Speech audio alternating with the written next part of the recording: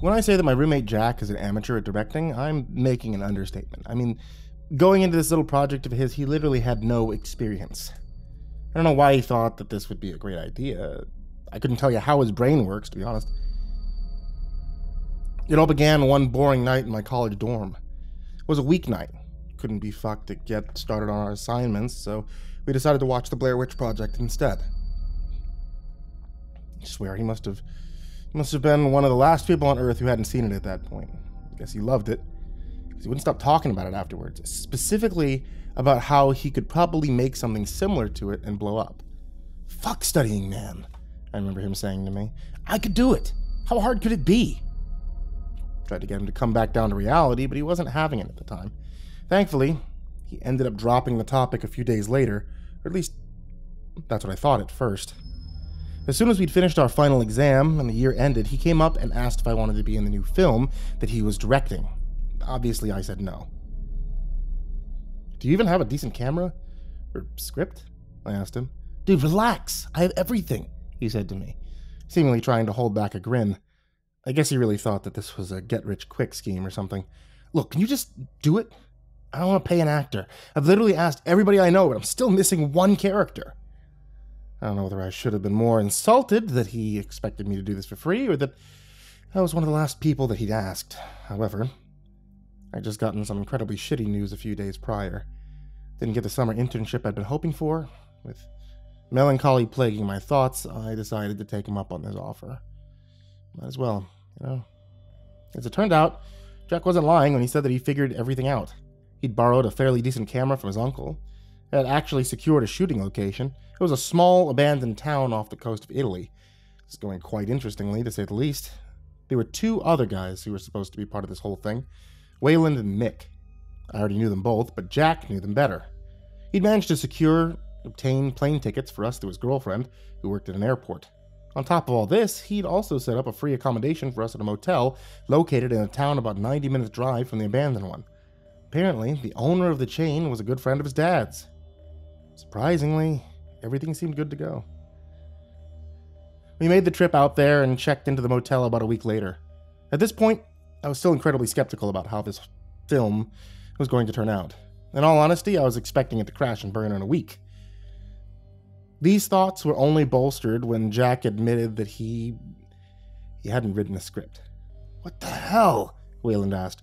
Well, what are we supposed to do in front of the camera then? Just act natural, Jack responded. You think the Blair Witch Project had a script? I mean, it probably did, Mick chimed in. Jack just continued.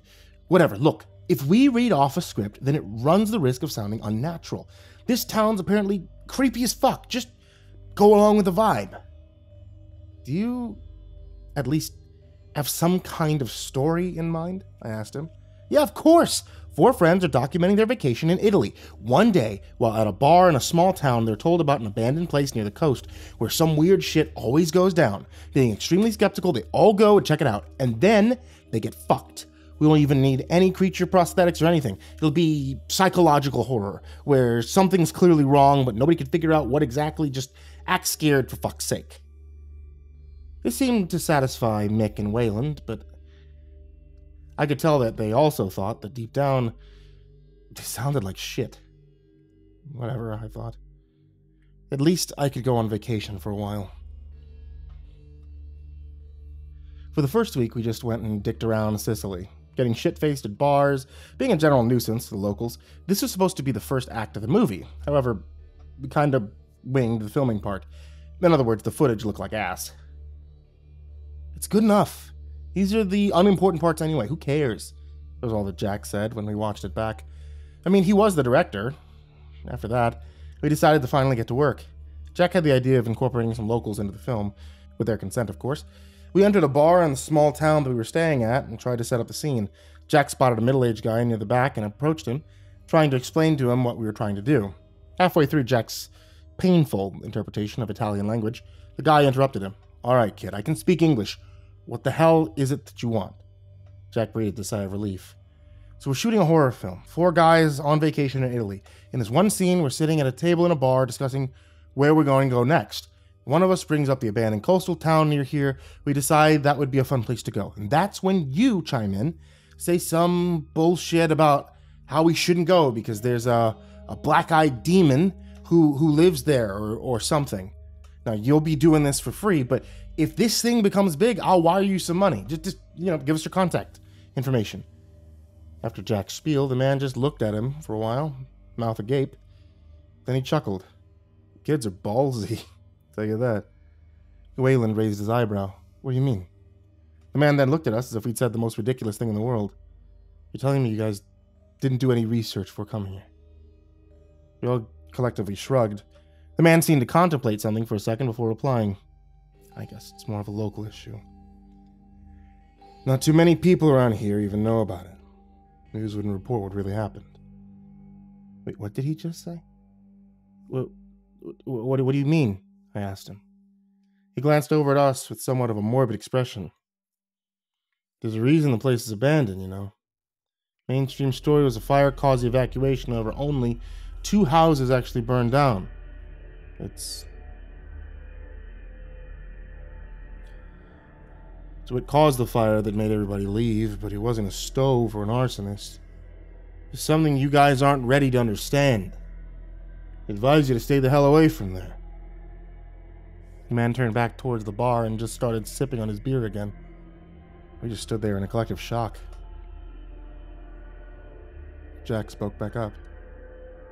Dude, that was amazing. Could you do it again, please? But like on film this time? The guy turned around. Kid, are you stupid or something?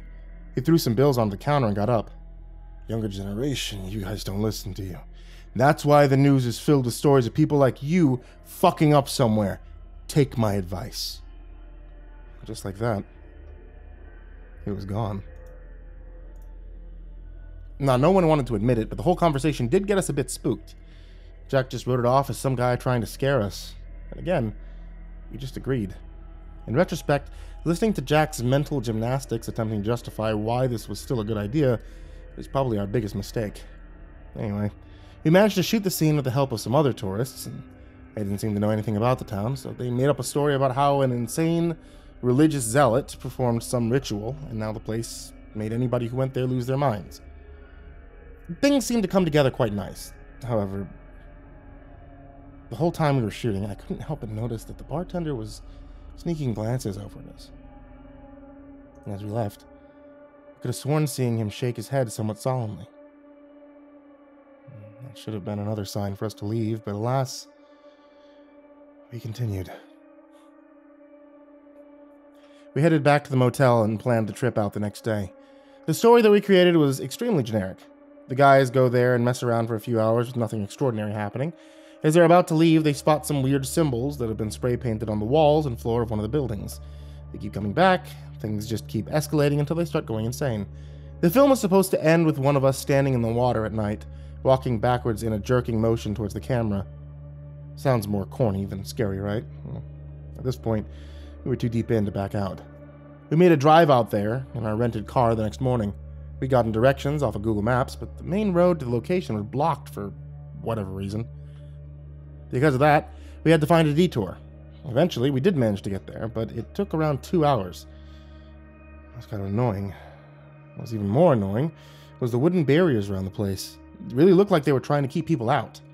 So I started questioning the legality of this. However, Jack quelled these concerns by telling us about a film shot entirely in Disney World without the park's consent, so we just kept on. Besides, this was such a small, insignificant place. Who who would care?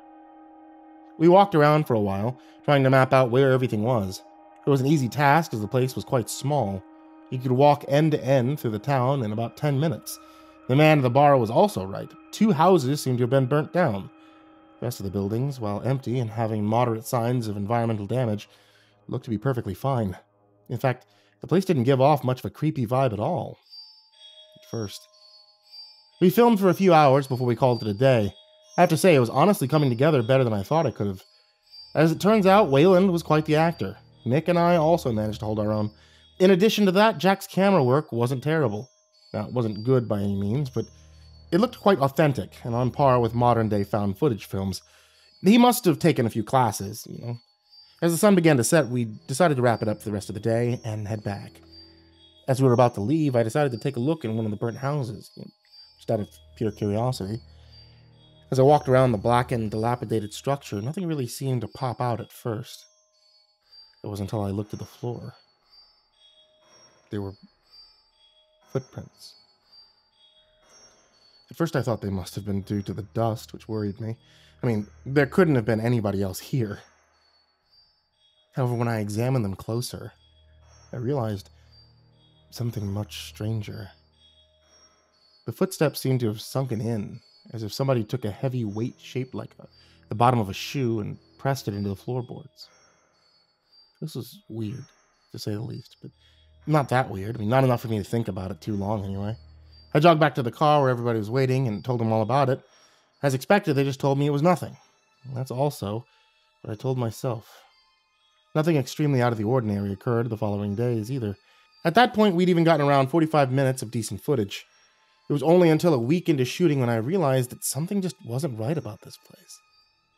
A feeling of wrongness had been subtly building ever since we'd gotten there, but uh, either nobody else noticed or nobody else wanted to admit it. I was watching over some footage that we'd shot a few days ago, and in it the sun was starting to set. The thing is, I, I, I noticed something in the distance off the shore, in the water. At first, it just appeared to be a splash, but I mean, it was huge. What else could have caused it? Curious, I played the footage and watched even closer. Now, the background was pretty blurry, and the splash was only in the shot for a few seconds.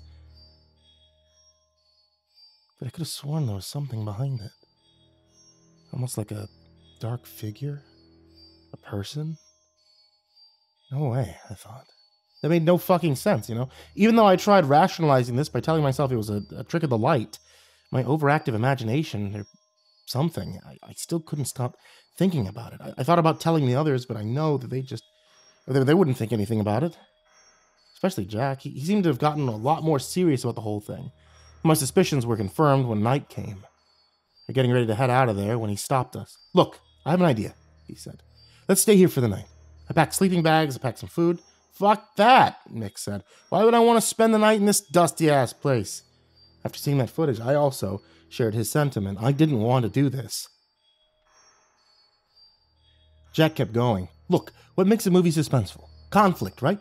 So far, there's been none of that. We found some spooky symbols, heard some noises, but that's it. Imagine this. Our car's broken down in the scene. Try to start it. It won't go. So we start arguing with each other. Okay, oh, it's your fault. Oh, it's his fault. That kind of shit, right? As it ends up, we're forced to sleep here in one of the houses. Then, sometime during the night, we wake up to some strange noises outside, so we look out the windows. We see a figure crouching behind the bushes or something. Tell me that doesn't sound fucking amazing. While it didn't sound like anything original, this is this is what the movie needed. The others protested a bit before eventually coming to a consensus. I also reluctantly agreed. However, I sure as hell wasn't excited about the night. We moved into one of the houses, we set up our sleeping bags there. Jack wanted us to only get a few hours of sleep before we started filming the night scene. Authenticity, he explained. The more tired you are, the more real it'll seem. I had to hand it to him at that point. The guy was dedicated. At about 1 a.m., he woke us up. He was already filming. The plan was to have Mick go out beforehand, start making deep groaning noises. He'd also be the figure crouching behind the bush. We were planning to shoot and edit in a scene with all four of us watching from inside the house later. Groggily, I got up and played along. What's going on? I mumbled. Jack put on his scared voice. You guys didn't hear that shit? Listen. As Waylon and I strained our ears, he filmed this. As expected, we heard Mick's groaning from outside. The hell is that? Waylon responded, deliberately making his voice go shaky at the end of the sentence. Fuck if I know, Jack responded. Sounds like it's coming from somewhere near the shore. Took the camera and started filming through the windows. Shit. I think I see someone in the bushes. He paused for a second. Wait. The hell? His tone changed drastically. He put the camera down and turned back to us. Guys, what the fuck is that in the water? His voice had gone completely sober at that point. Didn't sound like acting at all. In addition to that, his face had gone completely pale. Confused, I just kept the act up. What do you mean? What's in the bushes? I'm being fucking serious. He cut me off. Look, out of the sea. With a sense of dread creeping into my psyche, Mike and I did what he said. However, I. I couldn't see anything. Uh, have you gone mental, Jack? There's nothing, I heard Mick blurt out. Are you kidding me? Jack pushed him out of the way and started scanning for himself. What the fuck is going on? I heard him mutter. However, as I kept observing the water, I noticed something rather peculiar and frighteningly familiar. The waves were incredibly light that night, so I was able to make out in the distance splashes. Large ones, and they seemed to be getting closer. Suddenly, I remembered the splash from the found footage that I'd been looking at earlier. Give me the camera, I told Jack. Although he had a muddled look on his face, he didn't protest and just handed it over. I turned it back on and started filming the splashes, and. God, what the fuck did I see? It was a figure wading through the water, coming towards us. It also seemed to have some kind of. some kind of deep red glow emanating off of it. When I zoomed in, it was apparent that it was wearing some old looking deep sea diving gear, but without a helmet. The weirdest part was when I tried to focus on the details of its face, I couldn't. It's not the camera didn't have the capability. My eyes just, they just, it couldn't take it. They started stinging and watering, and I'd have to turn away. But from the split seconds that I managed to sneak a look, the face appeared to be distorted in a sense, almost like it was that of a typical man, but passed through multiple filters of some sort. Safe to say, this was beyond fucked up. I put the camera down. Jesus Christ. I reeled back in shock. I decided to test my suspicions and looked back at the water. The figure was gone. At least from my vision, I could I could still see the splashes. They're getting dangerously close now. What the hell is it? Jack and Waylon asked me in near unison. I gave them the camera and they took turns witnessing what I had just seen in an abject horror.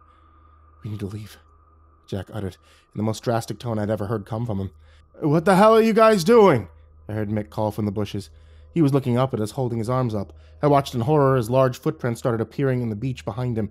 Run to the fucking car! was all I could manage to get out. He flinched for a second before turning around to witness sand being manipulated by an invisible force. He bolted right after that. We didn't even bother rolling up our sleeping bags. We just ran like hell out of there, being the slowest of the bunch. I was the last one to leave the house we were in. However, in my mad dash towards the vehicle, I slipped in some pebbles and crashed to the ground, scraping my wrists. As I reeled from the pain, I swore that I was able to somehow sense a presence coming towards me. It's it's hard to explain. It was like the air around me began to feel hostile. In addition to that, I could hear multiple voices coming towards me, but none of them were distinguishable. They all seemed to be blending together, forming a disturbing cacophony of noise. And the worst part of it all, I couldn't move. I remember just sitting there trying to prop myself up, but my arms were moving about an inch a minute. It also felt like I was being dragged down into the earth. A few seconds later, I heard the sound of pavement being crunched behind me. The closer and closer it got, the more and more it felt like I was I was sinking into hell. My vision started blacking out before I snapped out of whatever trance I was in. I watched as a bright light flew past and hit something behind me. The suffocating disharmony of voices suddenly stopped and was replaced by a loud, guttural grunt. I looked up to see Jack standing about 30 meters away, holding a flare gun in one hand and the camera in the other. I took the chance and scrambled up, dashing towards the car. I got in and we sped the hell out of there. We decided to end the trip early. As soon as morning comes, we're taking the next flight out of here. The rest of the guys, they finally drifted off to sleep, but I just, I, I just can't. That, that feeling of sinking terror as the thing approached me, I can't I can't stop thinking about it. I can almost feel it still. I picked up the camera again and I skimmed through the footage. There's no way in hell that we weren't showing this to somebody. Maybe there was maybe there were answers out there. However, when I played the footage back, the thing was gone. I could see the water splashing, the concrete crumbling under its force, me paralyzed on the ground, but that that goddamn thing was just not there.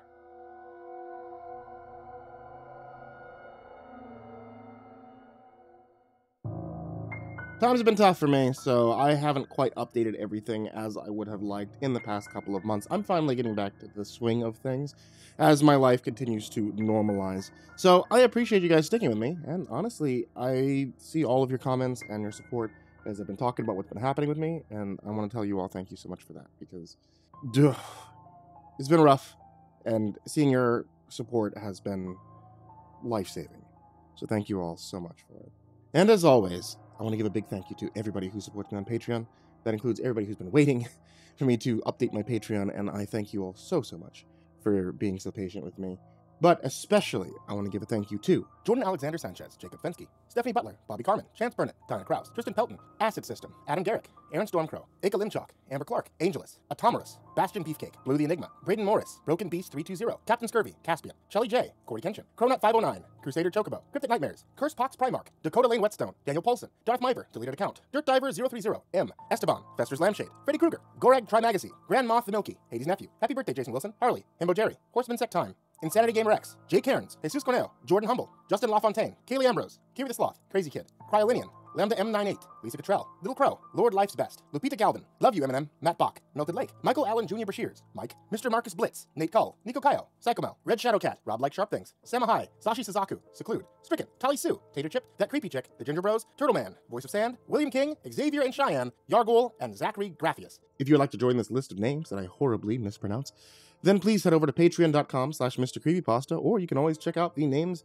in the description down below, and I appreciate it infinitely. So thank you all on Patreon, thank you all so, so much, and to everyone, sweet dreams.